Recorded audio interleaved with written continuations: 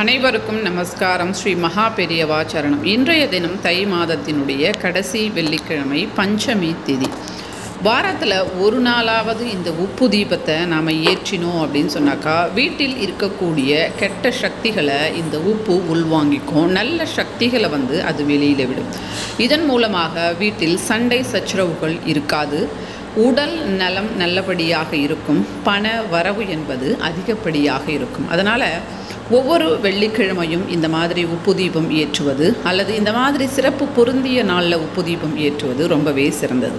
இந்த தீபத்தை காலையில் ஏற்றலாம் அல்லது மாலை நேரத்தில் கூட ஏற்றலாம் தீபம் ஏற்றி முடிந்த பிறகு தீபம் தானாக மலை ஏற வேண்டும். மறுநாளோ அல்லது அடுத்த வியாழக்கிழமையோ இந்த உப்பை தண்ணீரில் முழுவதுமாக கரைத்து அது தண்ணீர் ஆன பிறகு கால்படாத இடத்துல கொட்டுவது அப்படின்றது ரொம்பவே சிறப்பு. இந்த தீபத்தை ஏற்றுங்க நன்றி.